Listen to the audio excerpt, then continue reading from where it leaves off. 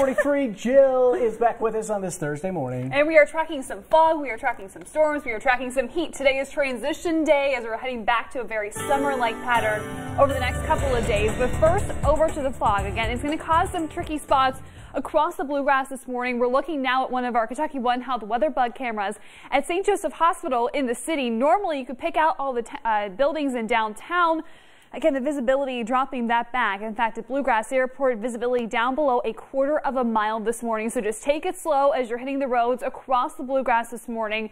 As we go throughout the morning, though, this fog will be lifting, revealing a good deal of sunshine. Now, down across southern Kentucky, still you are battling some thunderstorms this morning. Maybe a little bit of a rude wake-up call for some folks uh, in Wayne County, especially then as we look further to the west, as well as a broken line of showers and thunderstorms was tracking through, producing a lot of lightning, some heavy rain, even some reports of some small hail, too. Right now, everything more scattered. One storm now exiting southern Wayne County. Meanwhile, a few more spotty uh, downpours, in fact, are being picked up on the MaxTrack Live Doppler across southern Clay County, continue on into Knox and even Bell counties right now, where again you're dealing with some downpours to start off the day, but then this is it with the storms. We'll eventually be seeing more sunshine breaking through as the day goes on, and we're already starting to see that clearing for about I-64 and points northward. That's where the fog has been a bit of a problem so far this morning. Meanwhile, further down south, the clouds are still locked in, but eventually we'll be seeing those moving out as well as you go throughout your Thursday. So here's how the day is going to be shaping up. We'll be seeing more sunshine into the afternoon. It's also going to be getting warmer and more humid with high temperatures today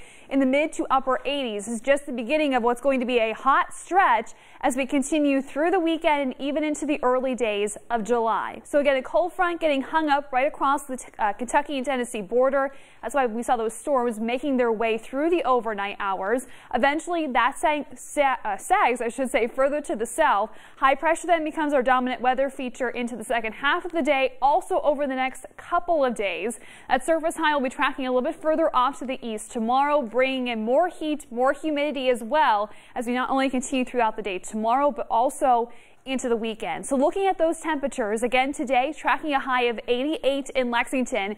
It's the 90s starting tomorrow also through the weekend as temperatures are going to be running well above average into the early days of July. And of course, as we know, here in the summertime, it's not just the heat, but also the humidity that makes it feel so much worse. Tomorrow afternoon, we'll be seeing heat index values in the lower 90s. Heading into Saturday, we could be seeing some of those. Feels like temperatures touching the triple digits, if not coming very very close. And as we continue throughout the course of the weekend, that's what's going to be getting downright sweltering across the area. Certainly as a reminder, stay hydrated, check on your neighbors, make sure they're doing okay as well, and try to limit your outdoor activity between the hours of 10 and 4. I know you're probably going to want to get out there and enjoy the sunshine, especially after all the storms that we were battling earlier this week, but just take it easy as we continue throughout the weekend as it is going to be getting hot across the bluegrass.